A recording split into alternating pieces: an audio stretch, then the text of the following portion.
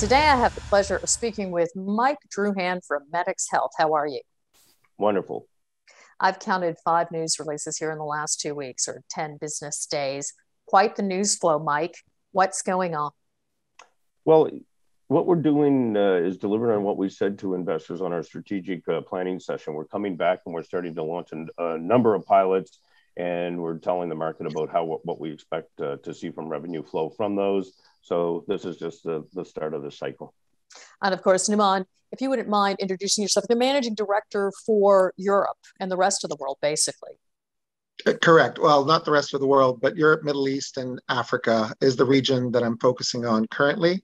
Um, my name is Naman Demaghlatrous, and I joined the company about uh, a year and a month ago. And of course, I was just talking to Mike, you know, before we started this interview, and he was explaining that you're responsible for the catalyst you know, part of the team, of course, for the last, what, four, three, four news releases? Correct. Yeah, we've had quite a flurry of activity um, over in Europe and in the Middle East. Uh, we hired a ex Medtronic met, uh, marketing director uh, for uh, the Middle East and Africa region, and I have been focusing on the European theater as well as Turkey, and that's got us uh, quite a bit of traction in terms of identifying uh, new distribution channels, uh, companies that are very well established. And this was done through uh, my network uh, in the region over there. Um, that will allow us to tap into the various verticals uh, that our platform is uh, is a great fit for.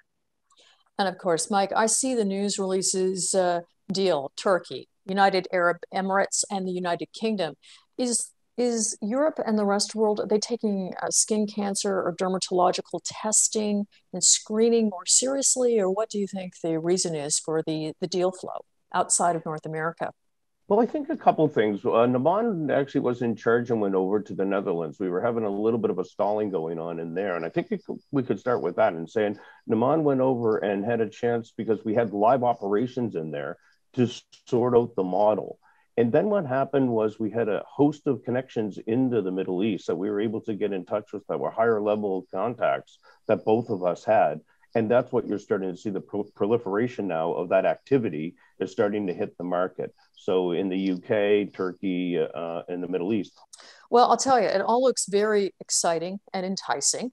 Um, but I'm going to ask you first, Mike. I saw your Q3 results and they weren't what some of us had hoped they would be. When are we going to see the results from all of this deal flow that it appears that, you know, Naman, for instance, since joining your team, has been putting together? Yeah, I think that's a really, really good thing. I mean, I think the third quarter numbers was our transition. We transitioned uh, on the on the executive team. We've uh, replaced both CFO and uh, president and uh, former president and CEO. Um, that was a big shift we have been, as everybody knows, moving out of the laser business in terms of our, our primary focus and into the dermatological space, which is the key future of the company. So all of that got us sort of thrown into the third quarter numbers, uh, and now we look forward. So Naman, what's your what's your sales cycle like? What's going on here? Like, is it nine months, six months? What are we looking at? So Tracy, basically, uh, the sales cycle will be between three and nine months three months to identify the right partner, three months to pilot, understand the clinical pathways, maximize the throughput of patients in our system, and three months to set up the commercial operations. So approximately three to nine months is the sales cycle. So Mike, three to nine months sales cycle. You got your sales team in place. We're very excited for you here at Investor Intel Land. Um, when should we start seeing those results in revenue? Are we looking Q4? Are we looking for next year? What are we looking for?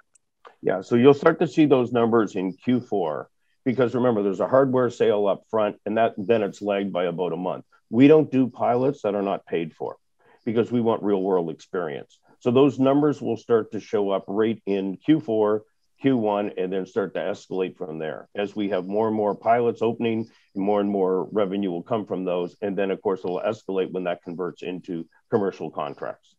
And for those of you out in investor intel land that care more about saving lives than just making a lot of money, Mike, can you tell us about how many lives you've been saving just in you know some of these trial tests you've been doing? Um, if we just took a look at the Netherlands trial, the Netherlands trial, we did about 6,000 scans last year uh, in 2021. And about 300 of the scans that went out there were what we call highly suspicious scans. And it looks like it's about 150 of those scans came back as melanomas.